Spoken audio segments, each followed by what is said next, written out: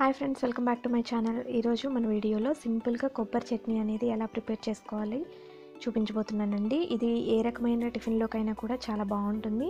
అలాగే చాలా ఫాస్ట్గా కూడా ప్రిపేర్ చేసుకోవచ్చు. సో వీడియోని స్కిప్ చేయకుండా ఎండ్ వరకు చూడండి. ఫస్ట్ ఒక మిక్సర్ జార్ తీసుకొని అందులోకి నాలుగు వెల్లుల్లి రెబ్బలు అలాగే ఒక పావు టీ స్పూన్ జీలకర్ర రెండు టీ స్పూన్ల పుట్నాల పప్పు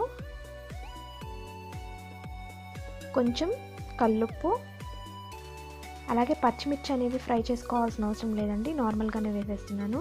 అలాగే ఇక్కడ చూపించిన కప్పుతో రెండు కప్పుల వరకు కూడా పచ్చి కొబ్బరి తీసుకున్నాను.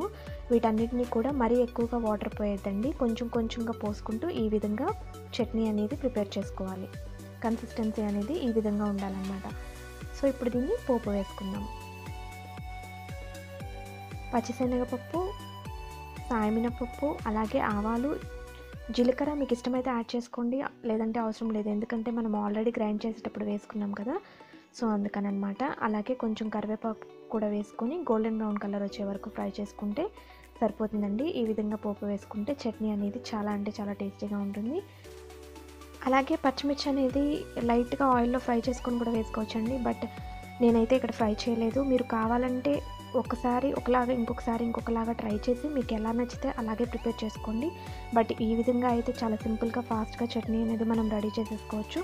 సో ఫ్రెండ్స్ ఇది వాళ్ళ మన వీడియో. ఈ వీడియో కనుక మీకు నచ్చితే ప్లీజ్ లైక్ చేసి షేర్ చేసి సబ్స్క్రైబ్ చేసుకోండి.